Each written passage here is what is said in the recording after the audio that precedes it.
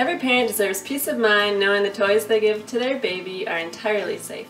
Especially when it comes to what goes in your baby's mouth. Right, Judah?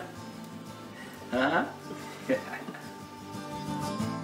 That's why we make our teething toys from start to finish in our family's Minnesota wood shop using only all natural hardwoods. Sometimes parents are surprised to see teethers made out of wood, but it's a great option for teething relief. The maple wood we use is non splintering, super smooth to the touch, and even naturally antibacterial. We use only wood that's sustainably grown and harvested right here in the United States.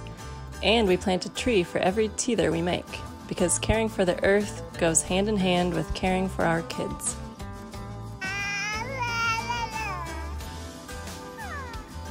Our teethers are more than a toy. They're childhood keepsakes with special memories attached to them.